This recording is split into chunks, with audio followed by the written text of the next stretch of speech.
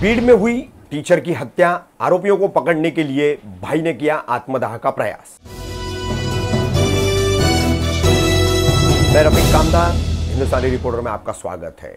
आज हम एक खबर आपको महाराष्ट्र के बीड़ ज़िले से बता रहे बीड़ में वहाँ के राजनेता जयदत्त शिरसागर की एक अपनी आर्मी स्कूल है। इस आर्मी स्कूल में शिक्षक हैं, यानी टीचर हैं सैयद साजिद अली। सैयद साजिद अली की दो दिन पहले हत्या कर दी गई। धारदार हथियारों से पेट और सीने पर वार करके उनकी हत्या कर दी गई। हत्या की खबर मिलते ही जिला अस्पताल के अंदर उनके रिश्तेदारों की, चाहने वालों की, दोस्त अहबाबों की, सबकी जो है भीड़ लग गई। वहीं घटना की खबर मिलते ही वरिष्ठ पुलिस अधिकारी भी घटनास्थल पर पहुँच गए।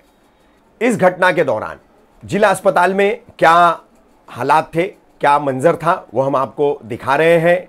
कौन है टीचर सैयद साजिद अली, वो भी हम आपको बता रहे हैं। वहीं बीड़ के बालेपीर इलाके में, इस आर्मी स्कूल में ये वारदात होने के बाद जो है, इसमें शामिल लोगों के खिलाफ बीड़ पुलिस ने अपराध तो दर्ज कर लिया है। सैयद साजिद अली, मीर अंसार अली की हत्या के आरोप में।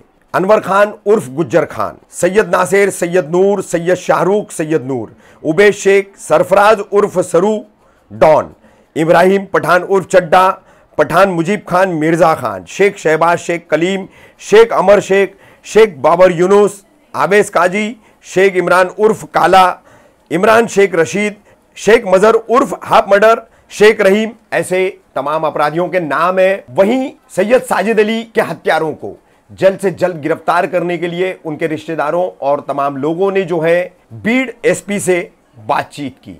बातचीत के दौरान एसपी कार्यालय में मृतक सैयद साजिद अली के एक रिश्तेदार ने खुद पर केरोसिन डाल करके आग लगाकर आत्मदाह करने का प्रयास किया। पुलिस ने मौके पर ही उसे पकड़ लिया, आग लगाने से रोक लिया, वरना एक और बड़ी घटना हो सकती थी। पुलिस का कहना है कि तीन इनमें से अपराधियों को हमने गिरफ़्तार कर लिया है, बाकी की खोज की जा रही है। इस पूरे मामले के चलते जो है, सैयद साजिद अली के परिवार और रिश्तेदारों ने अभी तक मृतक का शव अपने कब्जे में नहीं लिया है।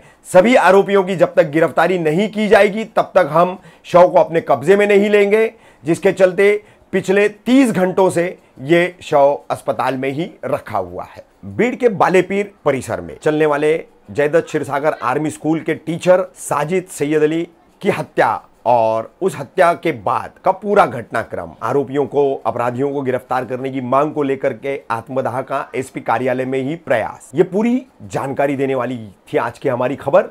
जल्दी हाजिर होंगे हम अपनी अगली खबर के साथ। हिंदुस्तानी रिपोर्टर के साथ जुड़ने के लिए सब्सक्राइब कीजिए और बेल आइकॉन को दबाइए।